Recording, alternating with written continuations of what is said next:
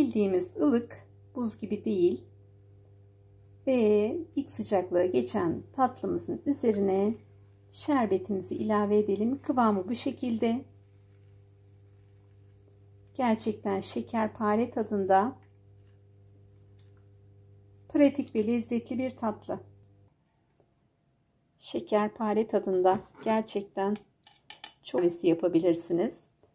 Tatlının Kanalımdan ve mutfağımdan herkese merhaba sevgili arkadaşlar. Bugün çok güzel, pratik bir tatlı yapıyoruz. Gerçekten kıyır kıyır, lezzetli bir tatlı yapıyoruz. 2 su bardağı un, 1 çay bardağı irmik. Ortasını böyle havuz yapıyorum. İçerisine 1 paket vanilya,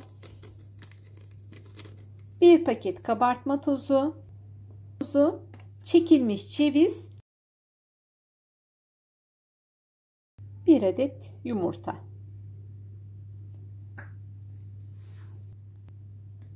Oda sıcaklığında beklemiş tereyağı ya da teremyağı kullanabilirsiniz.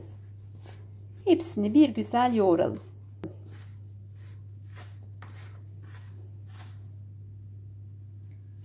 Hamurum çok güzel yoğruldu. Hemen matımıza alalım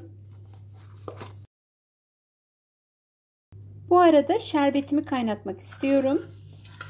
2,5 su bardağı şeker, 3 su bardağı su ilavesi yaptım. Şekerimiz eriyene kadar bir güzel karıştıralım. İçerisine ince bir dilim limon atalım. Kaynadıktan sonra 15 dakika kısık ateşte pişirelim. Soğumaya bırakalım. Gerçekten bayrama yapabileceğiniz, misafirlerinize ikram edebileceğiniz çok güzel, çok pratik bir tarif.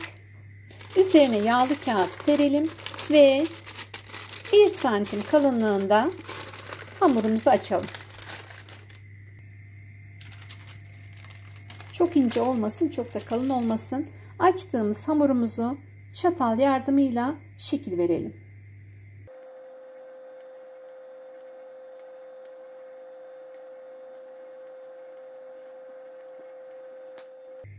Dilediğiniz bir kesecekle çay bardağı olabilir. Güzelce tatlılarımızı keselim.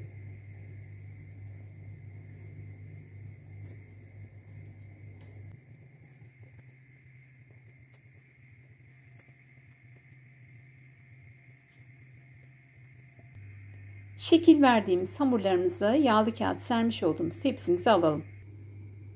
Bütün hamurlara aynı işlemi uygulayalım.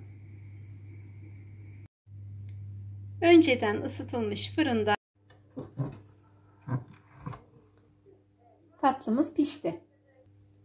Pişen tatlımızın ilk sıcaklığı geçtikten sonra soğuk şerbeti üzerine dökelim. Bildiğimiz ılık, buz gibi değil. Ve ilk sıcaklığı geçen tatlımızın üzerine şerbetimizi ilave edelim. Kıvamı bu şekilde. Gerçekten şekerpare tadında pratik ve lezzetli bir tatlı. Soğuduktan sonra servis edebilirsiniz. Ben şöyle bir saat kadar dinlendiriyorum.